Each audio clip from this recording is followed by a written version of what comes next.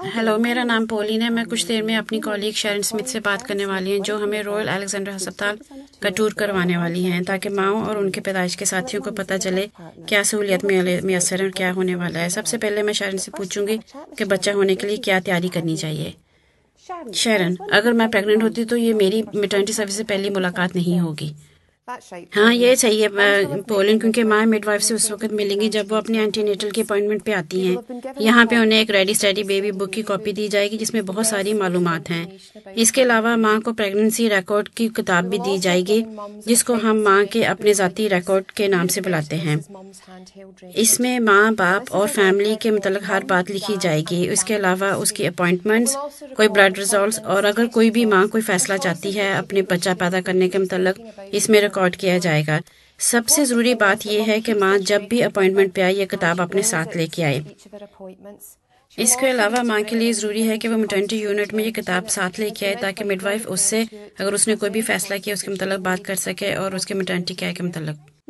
آپ نے anti internal appointments کا کہا، یہ کلاسز اور کلینک ہیں۔ کلاسز اور کلینک ایک چیز نہیں ہوتی۔ کلینکس وہ ہوتی ہیں جہاں ماں کی لگاتار اپوائنٹمنٹس ہوتی ہیں اور مڈ وائف اس کی پریگننسی پہ نظر رکھتی ہے کہ سب ٹھیک جا رہا ہے کہ نہیں۔ کلینکس کے علاوہ ہم والدین کی حوصلہ افزائی کرتے ہیں کہ وہ اینٹی نیٹر کلاسز میں آئیں، جس میں بہت ساری معلومات ہوتی ہیں۔ جیسے کہ بچے کو گھر کو لے جانے کی کیا تیاری کرنی چاہیے، اس کے متعلق ہم آگے بات کریں گے۔ ماں کی پیدائش کے دوران کیسے مدد کی کرنی چاہیے؟ ماں اور بچے کو تندرست رکھنا پریگنسی کے دوران۔ پیدائش کا وقت کب آنا ہے اور شروع میں کیا ہونا ہے؟ پیدائش کے دوران تکلیف کو برداشت کیسے کرنا ہے اور کون سی ادویات میں اثر ہیں؟ آپ ماں کے دودھ کے بارے میں ورک شاپ مہیا کرتے ہیں۔ اس کے مسئلہ مزید بتائیں۔ بریسٹ فیڈ کی ورک شاپ تمام میٹرنٹی یونٹ میں دستیاب آپ اپنے مڈ وائف سے پوچھیں۔ مجھے لگتا ہے کہ سب جانتے ہیں کہ ماں کے دودھ کا دونوں ماں اور بچے کے لیے مفید ہے۔ بچے کو پیٹ کی بیماری سے اور انفیکشن سے اور الرجی سے محفوظ رہتا ہے اور وہ مائیں جو اپنا دودھ بچے کو پلاتی ہیں انہیں بریسٹ کینسر نہیں ہوتا. بریسٹ فیڈنگ سستی بھی ہے اور عام میسر ہے. اور بھی بہت ساری انفارمیشن ہے جو کہ آپ کو بمپس اور بریسٹ فیڈنگ کی ڈی وی ڈی سے مل سکتی ہے. اس کی کاپی اپنی ویٹ وائف سے لے لیں۔ جب بچہ ہو جائے تو اس کو محفوظ کیسے رکھنا اور کیا تیاری کرنی چاہیے؟ ہاں یہ ضروری ہے کہ ماں کے لیے بہت ضروری ہے کہ بچے کو محفوظ رکھے اور اس کی پلاننگ کرنا بہت ضروری ہے کہ بچے کو گھر لے جایا جائے۔ ریڈی اسٹڈی بیبی کے علاوہ ہمارے پاس اور بھی بہت سارے لیفلیٹس ہیں جس میں بہت ساری انفارمیشن اپنی مڈ وائف سے لے سکتے ہیں۔ مثال کے طور پر بہت ضروری ہے کہ بچے کی گاڑی کی سیٹ صحیح طرح سے فٹ ہو۔ یہ ایک قانون بھی ہے، بے شک جتنا مرضی تھوڑا سفر ہو۔ اور بھی بہت ساری باتیں سوچنے والی ہیں۔ اینٹی نیٹل کیئر کے ساتھ ہم ماں کا کاربن مونوکسائڈ لیول دیکھتے ہیں کیونکہ اس کے ساتھی یا اس کے سگریٹ پینے سے یا گھر میں کوئی بھی ممبر کے سگریٹ پینے نقصان ہو سکتا ہے۔ زیادہ تر لوگ یہ جانتے ہیں کہ سگریٹ نوشی ماں اور بچے دونوں کے لیے نقصان دہ ہے۔ اس موقع پہ ہم ماں کو کہتے ہیں کہ پریگنٹ ہوتے ہی سگریٹ نوشی چھوڑ دے۔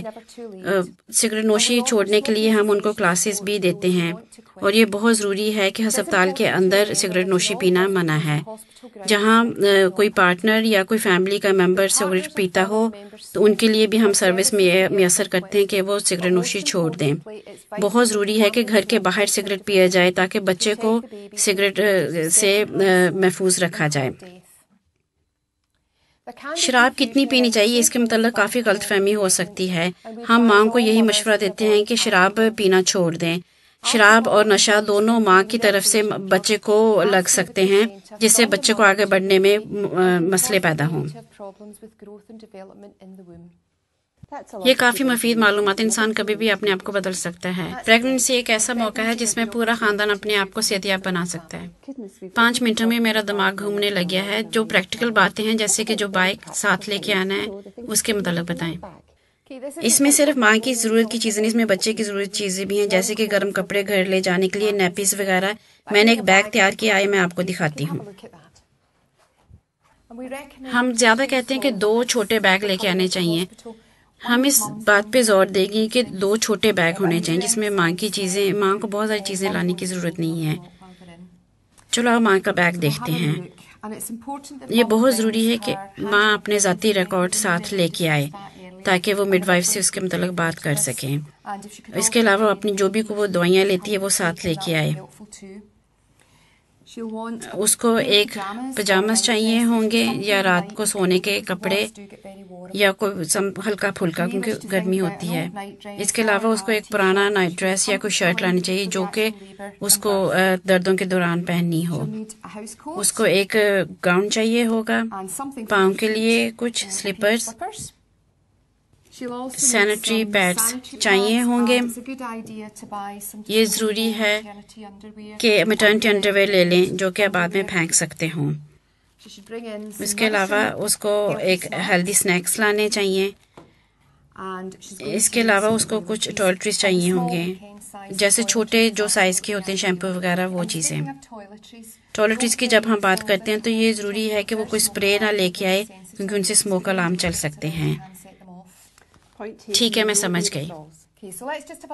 چلو اب بچے کا بیگ دیکھتے ہیں میں یہ چیزیں اٹھا دوں۔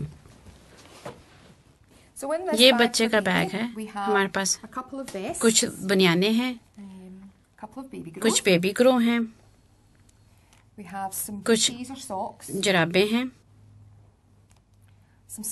کچھ دستانے ہیں۔ ایک گرم کارڈیگن ہے گھر لے جانے کے لیے اور ایک ٹوپی ہے۔ ماں کو نیپیز بھی لانے کی ضرورت ہوگی بچے کے لیے اور سب سے ضروری گھر لے جانے کے لیے گرم کوٹ ہوگا۔ کیونکہ باہر ٹھنڈ ہو سکتی ہے۔ اور جیسے کہ کہا تھا گاڑی کی سیٹ لانی چاہیے۔ اور اس کے پاس ایک لیفلٹ اس کے پاس ہونا چاہیے گاڑی کیسے لگانی ہے۔ اور باقی چیزوں کی لسٹ بھی اس کے پاس ہونی چاہیے۔ یہ اچھی بات ہے کہ بیگ پہلے سے تیار ہونا چاہیے۔ ہاں یہ اچھی بات ہے۔ اس کے علاوہ جو آپ کا ساتھی ہے اس کا نام اور پتہ آپ کے ہینڈ ہیلڈ ریکارڈ میں ہونے چاہیے تاکہ مڈ وائف کو پتا ہو یہ آپ کی حفاظت کے لیے ہے۔ اس کے علاوہ کچھ اور بھی ہمیں بتانا چاہیے۔ ایک دو باتیں ہیں۔ جیسے کہ موبائل فون موبائل فون سے مشینری کو نقصان پہنچ سکتے اس لیے ضروری ہے کہ ان کو بند رکھا جائے۔ ہسپتال میں کچھ جگہ ہیں جہاں وہ ہسپتال جہاں بے فون استعمال کر سکتی ہیں اور ان کو وہاں استعمال کریں بچہ ہونا بہت خوشی کی بات ہے لیکن کبھی کبھار پریشانی بھی ہو سکتی ہے۔